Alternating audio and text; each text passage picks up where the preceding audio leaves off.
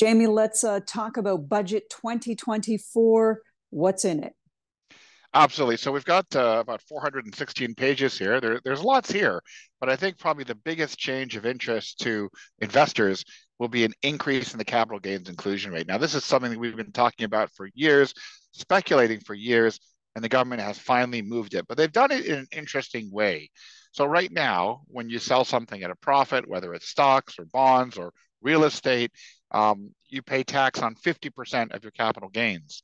The government is increasing the inclusion rate from 50% to two thirds, so 66 and two thirds percent effectively. Um, and they'll be doing that though in 10 weeks, starting on June 25th, 2024, which does give us 10 weeks to do some potential planning. And what they're going to be doing also is for individuals, they're also going to allow each individual to have $250,000 uh, that allows you to be taxed at the current inclusion rate of 50%. So, in other words, yes, the inclusion rate is increasing from 50% to two thirds. But I guess the good news is for any investors that make uh, under $250,000 a year of capital gains, you're going to be fine. Your inclusion rate stays at 50%. For those who make over $250,000 of capital gains, that's where you really want to think about some potential planning. So ideas that we've been thinking about so far today and the you know last half an hour or so since the budget has come out are things like do we purposely realize capital gains before June 25th? Um, after June 25th, do we realize $250,000 a year of gains? What if we own a rental property, an income property? What if we have a vacation property? What if we own shares of a corporation and we're planning to sell that? These are all things that we're really going to want to do some planning about, considering we now have a higher capital gains inclusion rate as of June 25th. Let's talk about the increase in a lifetime capital gains exemption. So, for individuals that own active businesses, there's a lifetime capital gains exemption, which for 2024 exempts just over a million dollars of capital gains on the sale of private company shares, farming, or fishing property. Uh, there's been a lot of lobbying that that number needs to get uh, higher, and that is what the government is doing. The government has announced that, again, for any dispositions of qualifying shares, farming, or fishing property, on or after June 25th, 2024, the lifetime exemption will be going up to $1.25 million and will be indexed to inflation for future tax years. Take us through the changes uh, that are coming to uh, the alternative minimum tax. So, alternative minimum tax, of course, is a parallel tax system that tries to impose a minimum level of tax on certain high income taxpayers with various preference items, various deductions, uh, things like that. Uh, one of the concerns since the AMT was introduced in last year's budget was that this could pu- uh, punish individuals making significant charitable gifts, in that there was a limitation of 50% of charitable gifts for the purposes of the alternative minimum tax calculation.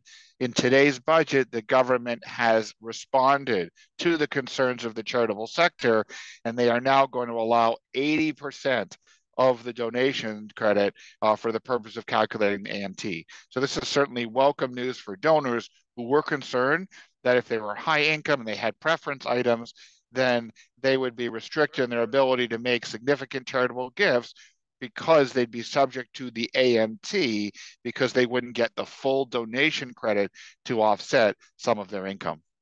We've been seeing uh, various home measures uh, getting rolled out over the course of the uh, weeks leading up to the federal budget. Some changes to the home buyers plan. Take us through those. So again, this was already sort of pre-announced last week, but they did come through and the home buyers plan allows each individual to withdraw money tax-free from their RSP uh, towards a first home. That amount has traditionally been the last number of years, 35,000.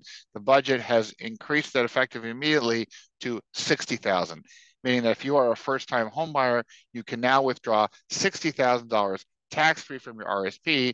And normally you have to start paying it back within a couple of years. They've now also changed that on a temporary basis, meaning that if you take out that $60,000 anytime from Jan 1st of 2022 through the end of 2025, you now only have to start repaying that back five years after you buy the home and you pay it back over a 15 year period. Let's uh, talk about the uh, new Canadian Entrepreneurs Incentive and uh, take us through those uh, tax measures.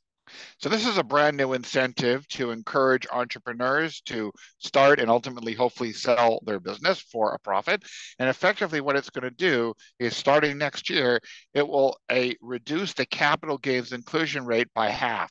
So we have the new capital gains inclusion rate, which is going to be two thirds, half of that is one third. So starting next year, uh, starting at $200,000 over 10 years, going up to $2 million ultimately on the sale of qualifying private company shares, there's a number of conditions that you do have to meet, then you're going to get the lifetime capital gains exemption, of course, on the first 1.25 million indexed to inflation. Anything above that uh, at $200,000 per year up to 2 million will be subject to only a one third inclusion rate. And this is meant to encourage the development and the growth of small corporations and ultimately to be able to uh, sell them and pay a lower capital gains tax when you do sell. Just lastly, Jamie, was there something that didn't make it into the budget that you were hoping to see? Well, again, there were some small things here and there. The biggest issue for me, of course, has been uh, tax simplification. Uh, we obviously have more complexity now being added to the tax system.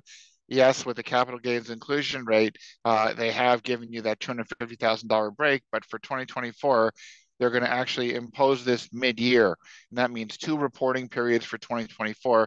Again, this further complicates an overly complicated tax system. So I'm all about tax reform, not something that we're seeing in this year's budget.